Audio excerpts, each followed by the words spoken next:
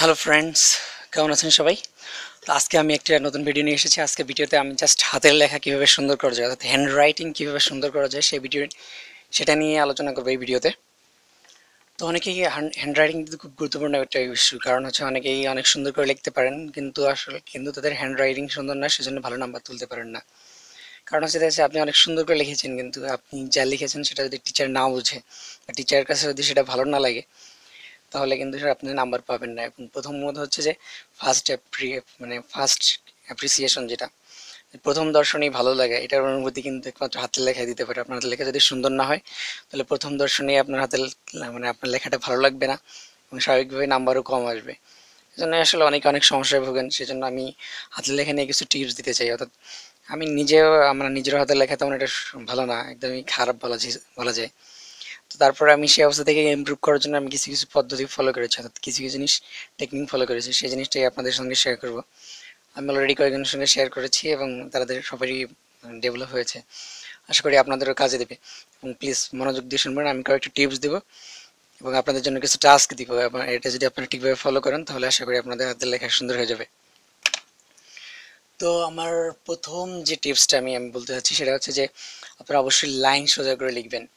তাই যে কোনো একটা লেখা, সেই লেখা যদি লাইন সোজা হয়, তাহলে কিন্তু দেখতে অনেক সুন্দর লাগে। আচ্ছা আপনি যেটা লেখাটা লিখছেন, সেটাকে অবশ্যই সুন্দর করে একদম সোজাভাবে লিখতে হবে। আপনি যদি একদম সোজা না লিখে একটু বাঁকা তাড়ায় লেখেন, তাহলে কিন্তু জিনিসটা একদম অসুন্দর হয়ে যাবে। আপনি লিখতে হবে একদম সোজা। যত বেশি সোজা লিখতে পারবেন, তত বেশি সুন্দর হবে। তাহলে এক নাম্বার টিপসটা হচ্ছে লাইন সোজা করে লেখা।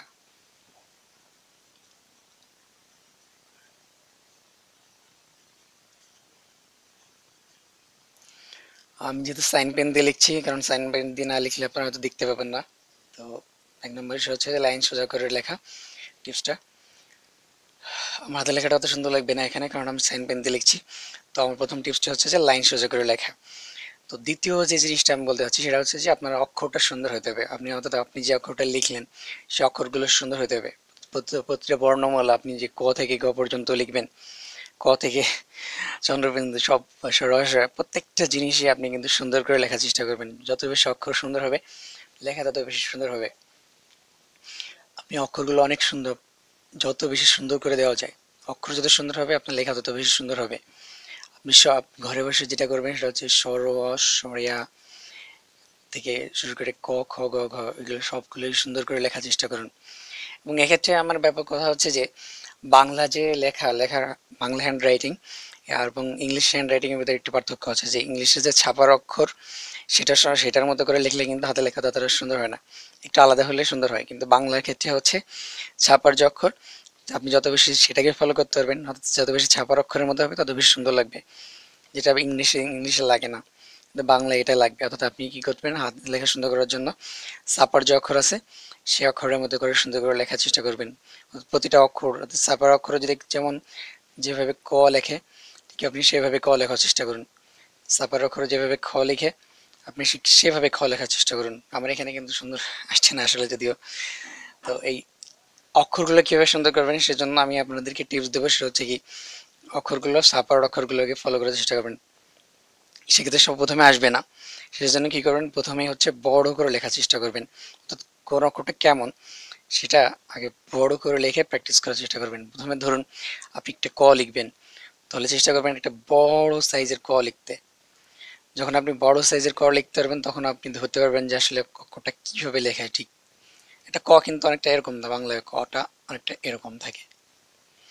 তো আপনি প্রথমে বড় করে লেখার চেষ্টা করবেন, তারপরে আস্তে আস্তে যে তাতে বোঝা যায় আইডিয়া হবে যে আপনি ঠিক কতটুকু কীভাবে লিখতে হবে। আস্তে আস্তে ছোট করুন। এবং ছাপার অক্ষরের কাছাকাছি নিয়ে আসুন। প্রথমে এক- একবার আসবে না, যখন আস্তে আস্তে লিখবেন তখন কিন্তু আস্তে ধীরে সুন্দর সুন্দর অক্ষরটা সুন্দর হয়ে যাবে। আমি আপনাকে একটা টি হাতে লেখার এক্সাম্পল দেখাই। ধরা যাক ধরা যাক এই লেখাটা। এই লেখাটা কিন্তু মোটামুটি লাইন সোজা করেই লেখা আছে। এখানে, লাইনটা মোটামুটি সোজাই ছিল। কিন্তু এখানে প্রবলেম হচ্ছে যে এখানে অক্ষরগুলো, অর্থাৎ হাতের যে বর্ণমালাগুলো একদম পরিষ্কার না। এখানে ক লেখা হয়েছে, কতে কোনো কটা লেখা হয়েছে এবং এখানে উপরে মেশানো হয়নি, এখানে গোল দেওয়া হয়নি। কোনো এটাই ফলো করা হয়নি অর্থাৎ অক্ষরগুলো সুন্দর হয়নি। জাস্ট অক্ষরগুলো সুন্দর না হওয়ার কারণে এতগুলো লেখা গেলে একদমই বোঝা যাচ্ছে না। অর্থাৎ আপনার অক্ষর যদি এখানে সুন্দর করে লেখা হতো, তাহলে কিন্তু লেখাটা সুন্দর লাগতো। তো আপনি যত বেশি অক্ষর সুন্দর করতে পারবেন, আপনার লেখা তত বেশি সুন্দর হবে। তো একবারে কিন্তু এই অক্ষরগুলো একবারে সুন্দর হবে না। জাস্ট আপনাকে প্রথমে করতে হবে কি ধীরে ধীরে বড় আকারে করে, বড় করে লিখতে হবে। ধীরে ধীরে ছোট করতে হবে। এভাবেই আপনার লেখাগুলো আস্তে আস্তে ছোট হবে। আপনি সেজন্য পেন্সিল দিয়ে প্র্যাকটিস করতে পারেন। পেন্সিল দিয়ে এভাবে প্র্যাকটিস করবেন। ছোট বড় বড় করে প্রথমে কয়েকটা লিখুন। এরপর ধীরে ধীরে ছোট করুন। এবং আস্তে প্রথমে হয়তো আস্তে, আপনি আস্তে আস্তে লিখবেন। পরে আস্তে আস্তে স্পিড বাড়ান, গতি বাড়ান। সেভাবে লিখে লিখে বাড়ান। তাহলে দুই নম্বর টিপস হচ্ছে যে অক্ষরগুলো আছে, অক্ষরগুলো সুন্দর করে দেওয়া। লেখা আপনি দরকার হলে সারাদিন বসে বসে অক্ষর প্র্যাকটিস করুন। অক্ষর, যত বেশি অক্ষরটা সুন্দর করবেন, তত বেশি সুন্দর লাগবে। অক্ষর সুন্দর করে লেখা। আসলে অক্ষর জিনিসটা কিন্তু আর্ট আমরা এই জিনিসটাই হয়তো বোঝার চেষ্টা করি না যে অক্ষরগুলো আসলে আর্ট জি ঠিক যেভাবে অক্ষরটা লেখা উচিত, সেটা এভাবে আপনাকে আর্ট করে করে লেখা উচিত। এটা লেখাটা জিনিসটাই আসলে আর্ট সুন্দর করে লিখতে হলে আপনাকে অবশ্যই অক্ষর সুন্দর করে লিখতে হবে আর্ট করে লিখতে হবে। এবং ধীরে ধীরে এটা আপনার ভিতরে চলে আসবে। তো তিন নম্বর যেটা কথা বলব সেটা হচ্ছে যে লেখার স্পেসটা আপনাকে ঠিকভাবে দিতে হবে। অর্থাৎ আপনি একটা লিখবেন যে লিখছেন যে আমার সোনার বাংলা।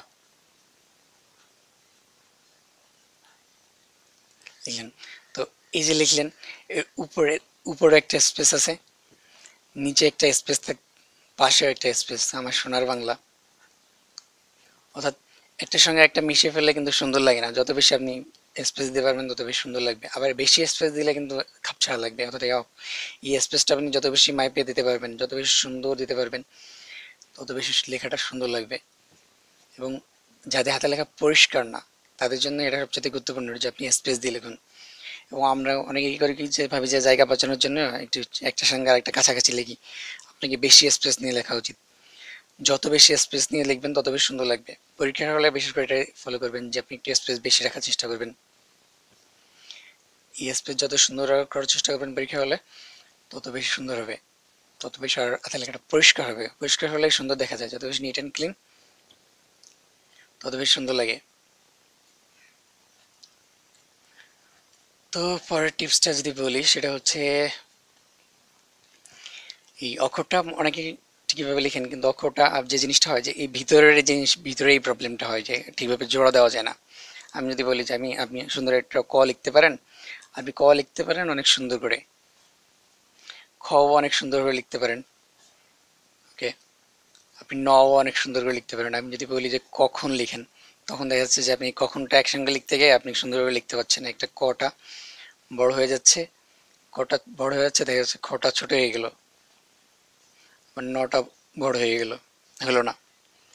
তো সে যে জিনিসটা করতে হয় যে জোড়া দেহটা ঠিকভাবে লিখতে হবে। অর্থাৎ আপনি ক লিখছেন, এই ঠিক যে জয়েন্ট এই কর সঙ্গে যখন আপনি খটা যোগ করবেন এইটা যত, এইটা যেন নিখুঁত হয়।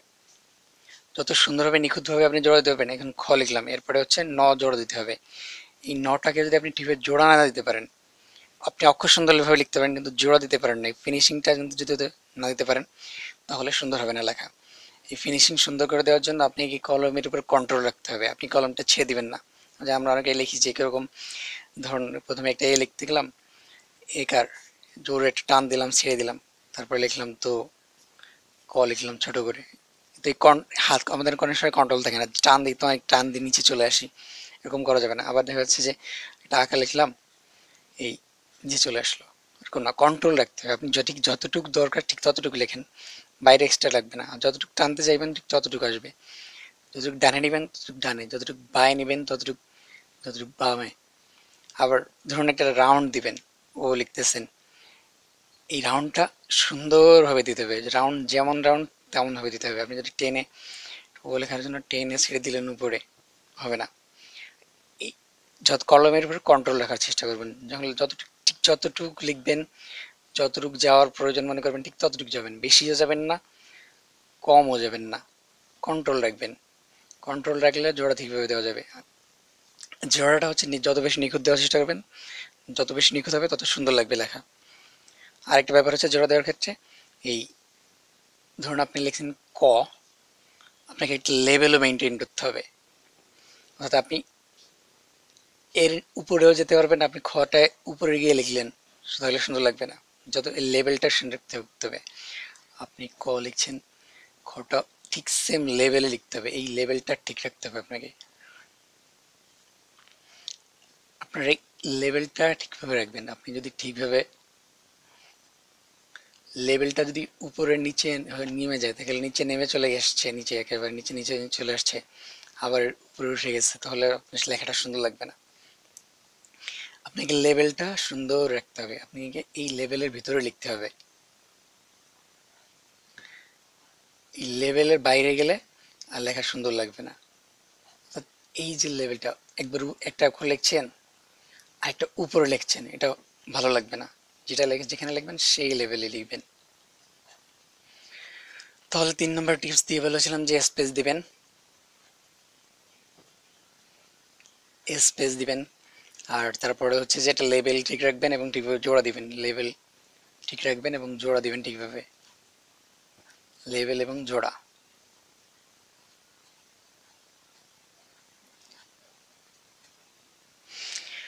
তারপরে যে যে কথাটা বলতে হয় সেটা হচ্ছে যে বাংলা অক্ষরগুলোর একটা বিষয় হচ্ছে যে কিছু অক্ষর আছে পূর্ণমাত্রা, কিছু আছে হচ্ছে অর্ধমাত্রা এবং কিছু আছে মাত্রাহীন। যেমন আমরা যখন লিখি এ এ কিন্তু মাত্রাহীন। কিন্তু আপনি যদি এর উপরে মাত্রা দিই, তাহলে তো এর ফলাফ হয়ে যায়। তো এইটা খেয়াল রাখবেন যে কোনটা অক্ষর উপরে মাত্রা আছে। আমরা অনেক সময় দেখা যাচ্ছে যে, খর উপরে মাত্রা দিয়ে ফেলছি, তাহলে ভুল হয়ে যাবে। খর উপরে মাত্রা নেই। খ হচ্ছে অর্ধমাত্রা, অর্থাৎ এই পর্যন্ত লিখলাম, এবং এখানে গিয়ে দাগ এটা হচ্ছে অর্ধমাত্রা কিন্তু এ, এর কোথাও দাগ নেই, ওই উপরে গিয়ে এরকম দাগ হবে না। তো এটা হচ্ছে মাত্রাহীন, খ হচ্ছে অর্ধমাত্রা। প, অর্ধমাত্রা। আপনাকে এটা ঠিক রাখতে হবে যে আপনি কীভাবে মাত্রা দিচ্ছেন কিনা। আপনি যদি ক লিখেন, অবশ্যই কর উপরে পূর্ণমাত্রা আপনাকে লিখতেই হবে কর পূর্ণমাত্রা। কিন্তু গ লিখলে বা খ লিখলে অর্ধমাত্রা। কিন্তু ঘ ঘ পূর্ণমাত্রা এই মাত্রা যদি ঠিকভাবে না দেন, খুব সুন্দর লাগে না। আমি অনেকের হাতে লেগে খেয়াল করেছি যে তারা আসলে মাত্রা ঠিক মতো দেয় না। এই মাত্রার ব্যবহারটা আপনাকে জানতে হবে যে বাংলায় কতগুলো অর্ধমাত্রা আছে, কতগুলো পূর্ণমাত্রা আছে। পূর্ণমাত্রা আছে হচ্ছে বত্রিশটি। এই বত্রিশটি আপনি আগে আইডেন্টিফাই করতে হবে যে এই বত্রিশটি বর্ণ বর্ণ, এগুলো হচ্ছে পূর্ণমাত্রা। তারপরে হচ্ছে অর্ধমাত্রা সম্ভবত আটটি। আর মাত্রাহীন হচ্ছে দশটি। এই সবগুলো যেটা যেভাবে, ঠিক সেভাবে সেভাবে লিখতে হবে। তার মানে হচ্ছে বড় টিপসটা হচ্ছে যে মাত্রা ঠিক রাখা।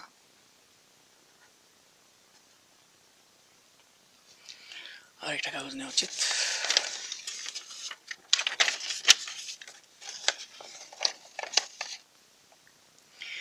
তো এরপর যে কথাটা বলব সেটা হচ্ছে যে আপনাকে অবশ্যই অক্ষরগুলোর মাপ ঠিক রাখতে হবে। আপনি ক, আপনি যে লিখলেন যে আমি আমার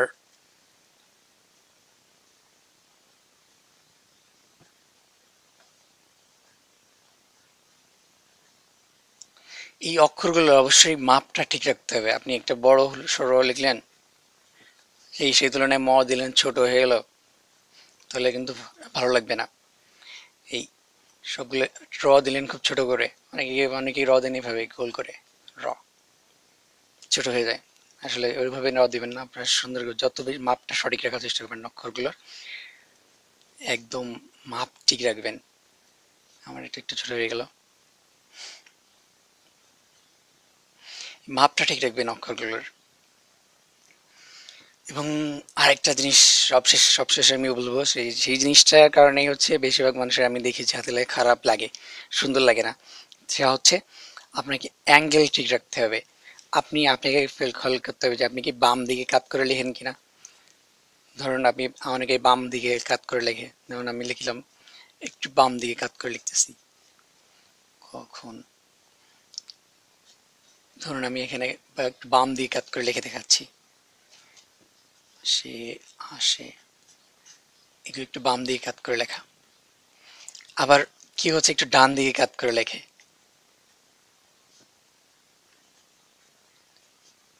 কেউ একটু ডান দিকে কাত করে লেখে।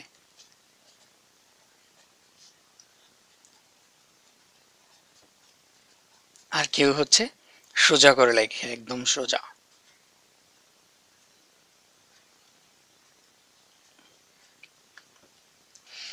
এই তিন ধরনের হাতের লেখা হতে পারে, যে ডান দিকে বাঁকা অথবা বাম দিকে সরি বাম দিকে বাঁকা, এটা ডান দিকে বাঁকা অথবা এক একটা হচ্ছে সোজা।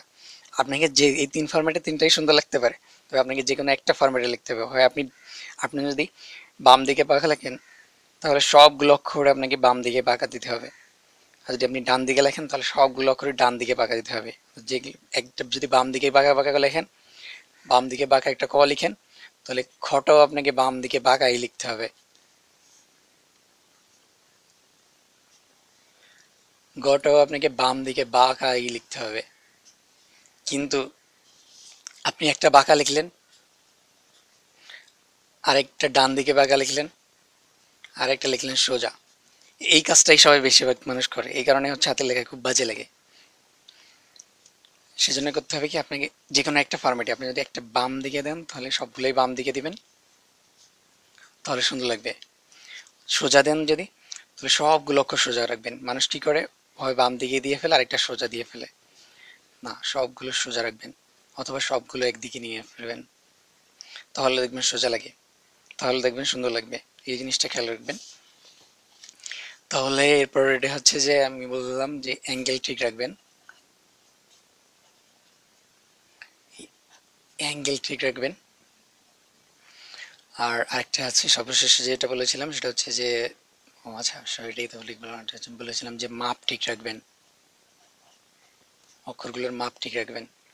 তো এখন এই ছিল আমার টিপস। তারপরে আমি আসলে যে অক্ষর কীভাবে সুন্দর করে লিখতে পারবেন অর্থাৎ ক থেকে যার মানে সব বর্ণমালাগুলো। বর্ণমালাগুলো কীভাবে সুন্দর করে লিখবেন, এটার উপর আমার ইচ্ছে ছিল আরও অনেক কিছু বলার। কিন্তু আশা করি পরে এটা নিয়ে অনেকগুলো ভিডিও বা আরেকটা ভিডিও বানানোর চেষ্টা করব, যেখানে আপনি ক, খ মানে ক থেকে সবগুলো বর্ণ কীভাবে সুন্দর করে লিখবেন। তো আপাতত এই টিপসগুলো আপনারা ফলো করবেন। আমি আপনাদেরকে টাস্ক দিয়ে দিচ্ছি, অর্থাৎ আপনারা কী করবেন। টাস্কগুলো হচ্ছে এই যে আমি লিখে দিলাম। যে কোনটা এই যে যেখানে লিখেছি যে লাইন সোজা, অক্ষর সুন্দর, এই এই জিনিসটা আপনাদেরকে টাচ দেবো। অর্থাৎ আপনি আজকে যে কাজটা করবেন সেটা হচ্ছে প্রথমে আপনি আপনার মতো করে এক পেজ বাংলা লিখবেন। বাংলা লেখার পরে আপনি চেক করবেন যে আমি যেসব কথা বলেছি সেগুলোর সঙ্গে আপনারটা মিলে কিনা। প্রথমে দেখবেন আপনি লেখার পরে আপনার দেখে এক নম্বরে হচ্ছে যে আপনার লাইন সোজা কিনা। লাইন সোজা হয় তাহলে টিক আর সোজা না হয় তাহলে ক্রস যে আমার লাইন সোজা না দুই নম্বর হচ্ছে আপনার অক্ষর কি সুন্দর হয় কিনা। যদি সুন্দর হয়, তাহলে ঠিক ঠিক আছে। যদি না হয়, তাহলে ক্রস যে কোনো একটা। এরপরে স্পেস ঠিক আছে কিনা। যদি স্পেস ঠিক না থাকে, তাহলে আবার ক্রস ঠিক থাকলে রাইট এরপর হচ্ছে আপনি কি লেভেল ঠিক মতো রাখতে পারেন কিনা, নাকি উঁচু নিচু হয়ে যায়। একটা উপরে লেখেন, একটা নিচে লেখেন। এটা ঠিক আছে, ঠিক থাকে কিনা। এই লেভেলটা ঠিক মতো থাকে কিনা, এটা দেখবেন চেক করবেন। তারপর হচ্ছে আপনি ঠিকমতো জোড়া দিতে পারেন কিনা, অর্থাৎ এই সরল লিখলেন, তারপরে যে মটা লিখলেন, এটা কি একটার সঙ্গে একটা ঠিকমতো ম্যাচ করছে কিনা, এই ম্যাচ করতে পারেন কিনা, যদি পারেন তাহলে এটাও ঠিক। না পারলে ক্রস। মাত্রা, এরপর হচ্ছে আপনি সবগুলো মাত্রা শিখেছেন কিনা, যদি মাত্রা সবগুলো না জানেন, তাহলে মাত্রাটা শিখবেন। না শিখলে তো এটাকেও ক্রস দিয়ে রাখবেন। তারপরে শেখা হয়ে গেলে আবার, এরপর হচ্ছে আপনার মাপ ঠিক থাকে কিনা, এটাও চেক করবেন। তারপর হচ্ছে অ্যাঙ্গেল ঠিক আছে এই এক পেজ লেখার পরেই সাতটা জিনিস ক্রস করুন। রাইট দিন অথবা ক্রস দিন। দেখার পরে হচ্ছে আপনার শুরু হবে যে আপনার লেখাটা।